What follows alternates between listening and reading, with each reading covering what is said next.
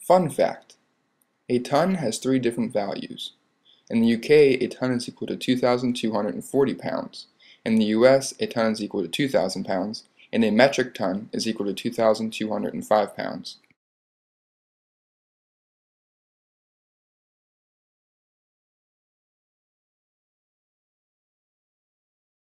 Hey everyone, I have another knife review for you today.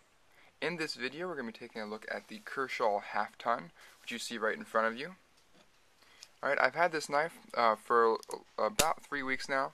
Uh, this was generously given to me by Mr. Jimbo Fox on our Force Multiplier Range Day. I just want to say thanks, man. I really, really appreciate it. It's a great little knife, um, and I really enjoy using it. So, thank you. Alright, so I really want to jump right into this review. There's a lot to talk about just with this little knife. Um, so let's get started. Alright, so first off, I have been carrying this knife uh, for two weeks. Uh, I carried it a little bit different than I usually do. Um, I am trying a new EDC system, so for the first week I just carried it normally in my pocket on my person like I usually do. And for the second week I actually carried it in the new EDC system, which I'll be showing you guys uh, shortly. So I just wanted to test it out in both both uses and, and see how it performed. Alright, so first off, it has a 2.5 inch long um, 8 CR13 MOV blade. Alright, the blade steel is decent. Um, I really don't have any complaints other than that the edge retention um, is, in my opinion, close to like AUS 8 um, or even a 440C, um, where it's going to need to be resharpened every so often. Um, I've used this relatively uh, hard, and I'll uh, demonstrate that later. so it, it's done well with holding its edge, although it probably would need to be touched up, you know, in the near future. Alright, as you can see, it is a nice short and stout blade. Alright, uh, it's, a, it's a big blade for the small package that it comes in, um, with an overall length of 6 and 1 8 inches long. Okay, the weight is 3.2 ounces, which I think is um, a little bit heavy for the size knife it is, um, but really, it, you can't really uh, beat it with, with, with the size. Alright, the handle material is a glass reinforced nylon with a Santoprene insert. Alright, it's just like a hard rubber insert. Um, it does provide nice traction, um, especially the bottom three fingers when you're gripping the knife. It really allows to, them to grab on and, and secure your hand. So it does its job. And it's not sticky or anything, so it, it's, it's convenient. Alright, on the rear, you have a wrench style pocket clip which is pretty neat. Kind of goes with the whole half ton theme. Alright, the wrench is not functional, it's just there as an aesthetic appeal. And it, it looks it does look pretty cool. Alright, pocket clip is great except for the fact that you can't um, reverse it or swap it for left hand side carry. So as with most Kershaws, which I think is one of the one of the only downsides to the Kershaw line is the inability to switch the pocket clip. So you're stuck with a right hand side carry tip down with this guy. So all lefties are kind of out of luck unless you uh, don't look to be attaching this to your pocket. Alright. So you deploy the knife with uh, thumb studs. It is ambidextrous. You do have one on the right and the left, which to me is kind of, you know, not necessary, especially if you're only going to do a right-hand side pocket clip. Um, but anyway, it comes out nice and fast. This is just a manual knife. It's just so smooth, it just flies open.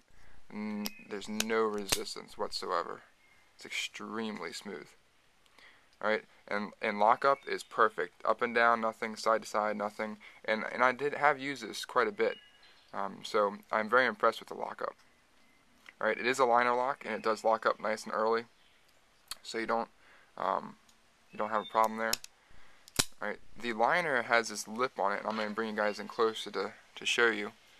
has this little lip that allows your thumb to get a nice chunk of liner and push it over in order to close the blade.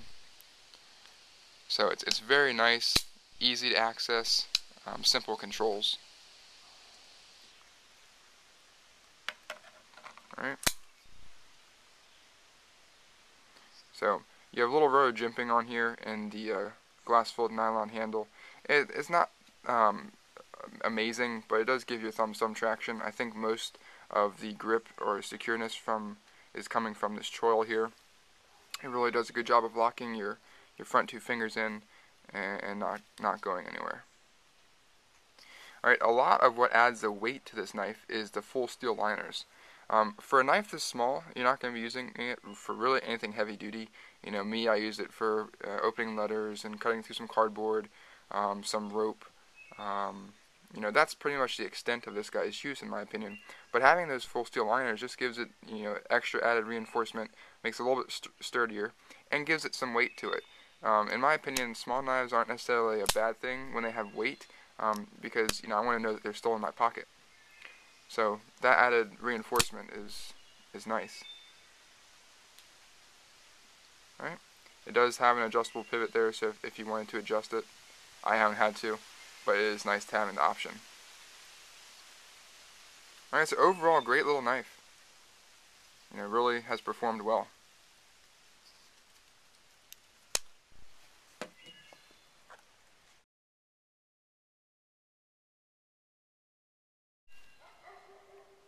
Alright, I want to give you guys a quick size comparison between this Kershaw half ton here and a couple other items that you might, uh, you know, the size of. So first off, I'm going to compare it to my SOG Flash 1 simply because a lot of people know about it. Alright, so you can see uh, lengthwise, the SOG Flash 1 is just a tiny bit um, shorter than the Kershaw half ton. Now, you know, width-wise, the half ton is almost double the size. Um, but that's just a little size comparison for you guys. Alright, something else um, for the closed length is my Streamlight MicroStream. You can see that they're pretty much exactly the same length. But again, thickness is, you know, again, double. So that's just a quick size comparison for you.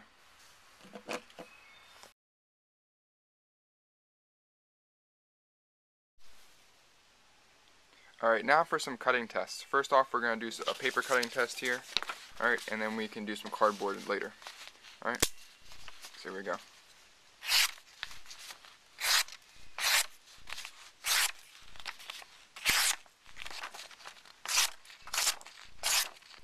Now onto the cardboard.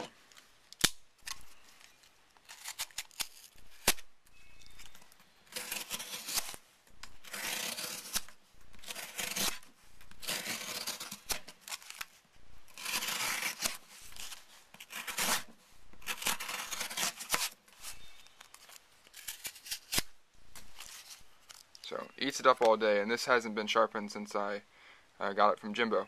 So really a good job. Um, can't complain. Um, nice edge holding capabilities.